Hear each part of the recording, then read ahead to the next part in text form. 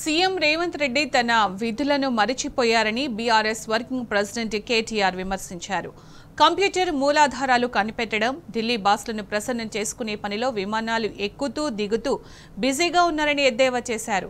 ఈ పాలమూరు బిడ్డకు ఎవరైనా తన విధులను గుర్తు చేస్తే బాగుంటుందని కేటీఆర్ సూచించారు. ఇటీవల వట్టెం పంప్ హౌస్లోకి వరద రావడం ఆందోళన కలిగించే విషయమన్నారు. వరదలో బాహుబలి మోటార్లు నీట మునిగాయని వాటిని వెంటనే బయటకు తీయాల్సిన అవసరం ఉందన్నారు. పంప్ హౌస్ వరదలో ఇప్పటి వరకు ఒక్క మీటర్ నీటిని మాత్రమే తోడారని ఇంకా పద్దెనిమిది మీటర్ల నీటిని అత్యవసరంగా తోడాల్సి ఉందన్నారు కేటీఆర్. తెలంగాణకు రైతులకు ఎంతో ముఖ్యమైన పంప్ హౌస్ను పట్టించుకోకుండా ఎందుకు నాశనం చేయాలనుకుంటున్నారో సమాధానం చెప్పాలని కేటీఆర్ డిమాండ్ చేశారు.